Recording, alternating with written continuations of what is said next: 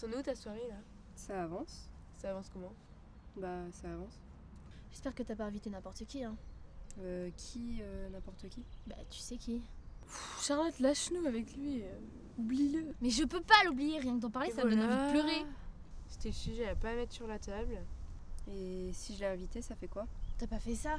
Non, mais j'ai dit et si? Si tu l'as invité et que je suis dans la salle, je fais un scandale, je casse tout. T'étais amoureuse à ce point-là? Pas j'étais, je suis. Mais c'est fini. Charlotte, va falloir que tu te comportes comme une femme, hein, ces quatre. hein. Une femme, ça affronte Charlotte.